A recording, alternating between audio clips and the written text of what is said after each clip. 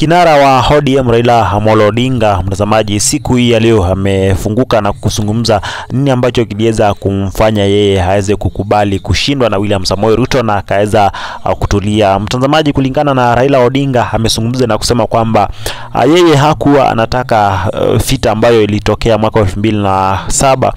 iweze kutokea tena, kwa sababu kulingana na Raila anasema kwamba kama angeweza kuleta furugu ama angeweza kuamua kuleta maandamano, mtazamaji, kungetokea fita ambayo iliweza kutokea mwaka elfu mbili na saba lakini pia akaweza kulinganisha na fita ambayo tokea huko Ivory Coast mwaka wa elfu mbili na kumi baada ya uchaguzi mkuu ambao uliweza kufanyika huko Ivory Coast. Mtazamaji, Raila Odinga pia amezungumza na kusema kwamba kitu ambacho kilimfanya aweze kukubali matokeo ni baada ya Cherera na uh, commissioners wengine wa IBC kuweza kutofautiana na matokeo ya Wafula Chebukati, akisema kwamba hiyo ingeweza kuleta fita ambayo ingeweza kuwa mbaya zaidi hapa katika taifa letu la Kenya, na hivyo ndio iliweza kumsukuma akaweza kukubali matokeo.